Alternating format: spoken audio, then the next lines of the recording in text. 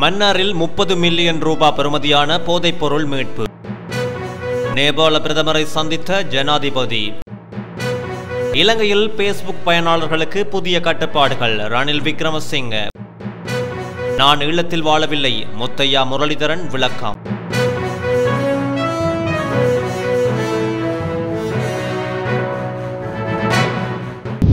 Mannar police பிரிவுக்குட்பட்ட Thalvupadu ராஜப்பு Joseph விளையாட்டு மைதானத்திற்கு அருகில் உள்ள பகுதியில் உலகிலேயே மிக விலை உயர்ந்த போதைப் பொருளான ஹொகைன் வகை போதைப் பொருளை வைத்திருந்த நபர் கைது செய்யப்பட்டுள்ளார். சந்தேக நபரிடமிருந்து ஒரு கிலோ பன்னிரண்டு கிராம் கொகைன் வகை போதைப் பொருள் திங்கட்கிழமை மீட்கப்பட்டுள்ளது. கைது செய்யப்பட்ட நபர் தாழ்வுப்பாடு பகுதியைச் சேர்ந்த முப்பத்தி நான்கு வயதான நபர் என்பதுடன் சந்தேக நபரிடம் மன்னார் குற்றப்புலனாய்வு பிரிவினர் மேலதிக விசாரணைகளை மேற்கொண்ட பின்னர் மன்னார் நீதவான் நீதிமன்றத்தில் சான்று பொருள் கையளிக்கப்படவுள்ளதுடன் சந்தேக நபரை முன்னிலைப்படுத்த உள்ளதாக அறிவிக்கப்பட்டிருந்தது மன்னார் போலீஸ் குற்றப்புலனாய்வு பிரிவினருக்கு கிடைத்த ரகசிய தகவலின் பிரகாரம் மன்னார் மாவட்ட சிரேஷ்ட போலீஸ் அத்தியட்சகர் எல்வை ஏ எஸ் சந்திரபாலாவின் பணிப்புரைக்கு அமைவாக உதவி போலீஸ் அத்தியட்சகர் பிரபாத் விதானகே ஆலோசனையின் பேரிலேயே இந்த கைது நடவடிக்கை இடம்பெற்றுள்ளது. கைப்பற்றப்பட்ட ஹொகைனின் தற்போதைய சந்தை மதிப்பு முப்பது மில்லியன் ரூபாவிற்கும் அதிகம் என்பது குறிப்பிடத்தக்கது.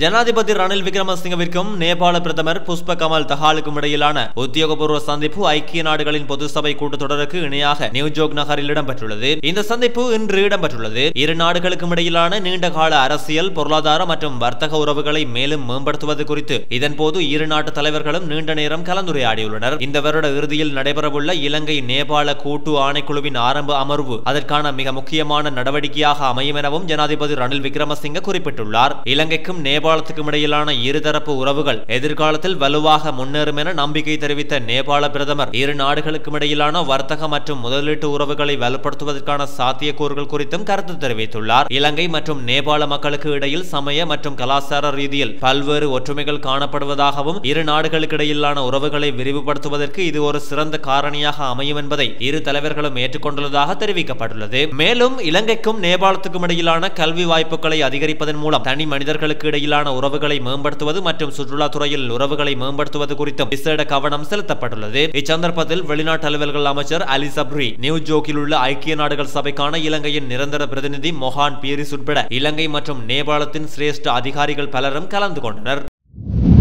ஜனாதிபதி ரணில் விக்ரமசிங்கவிற்கும் நியூஜோக்கில் உள்ள மெட்டா நிறுவனத்தின் உலகளாவிய தொடர்பு பிரிவு தலைவர் ஸ்ரீமத் நிக் கிழக்கிற்கும் இடையில் சந்திப்பு ஒன்று இடம்பெற்றுள்ளது. இந்த சந்திப்பு நேற்று மாலை இடம்பெற்றதாக ஜனாதிபதி ஊடக பிரிவு தெரிவித்துள்ளது. இணையம் மற்றும் சமூக ஊடகங்கள் ஊடாக பரப்பப்படும் வெறுப்பு கருத்துக்கள் மற்றும் பொய் பிரச்சாரங்களுக்கு எதிராக இலங்கை அரசாங்கம் மேற்கொண்டுள்ள புதிய நடவடிக்கைகள் குறித்து ஜனாதிபதி விளக்கம் அளித்துள்ளார். எதிர்காலத்தில் கொண்டுவர திட்டமிடப்பட்டுள்ள சட்டத்தினால் பாதிக்கப்பட்டவர்கள் உயர் நீதிமன்றத்தின் ஊடாக நடவடிக்கை எடுக்க முடியும் எனவும் ஜனாதிபதி குறிப்பிட்டுள்ளார். தெரிவித்துள்ளார் அத்துடன் நாடாளுமன்ற குழுக்களின் மீளாய்வின் போது இந்த சட்டமூலத்தில் மேலும் திருத்தங்களை சேர்க்க முடியும் எனவும் ஜனாதிபதி சுட்டிக்காட்டியுள்ளார். செயற்கை நுண்ணறிவு தொழில்நுட்பத்துறையின் அபிவிருத்திக்கான இலங்கையின் திட்டங்கள் குறித்து ஜனாதிபதி விரிவாக விளக்கியுள்ளார். செயற்கை நுண்ணறிவு துறையில் இலங்கை அரசாங்கத்திற்கும் மெட்டா நிறுவனத்திற்கும் இடையிலான பங்காளித்துவத்திற்கான வாய்ப்புகளை ஆராய்வதற்கும் இலங்கை பல்கலைக்கழகங்களை அபிவிருத்தி செய்வதற்கு மெட்டா நிறுவனத்துடன் ஒத்துழைப்பு திட்டத்தை நிறுவுவதற்கும் யோசனைகள் முன்வைக்கப்பட்டுள்ளது. காலநிலை மாற்றத்தை தணிக்க தரவு சார்ந்த திட்டங்களை உருவாக்க செயற்கை நுண்ணறிவை பயன்படுத்தும் நிலையில் இலங்கையில் செயற்கை நுண்ணறிவு துறையின் அபிவிருத்தியில் கல்விக்கு விசேட கவனம் செலுத்துவது தொடர்பில் தான் கவனம் செலுத்தியுள்ளதாக ஜனாதிபதி மேலும் குறிப்பிட்டுள்ளார்.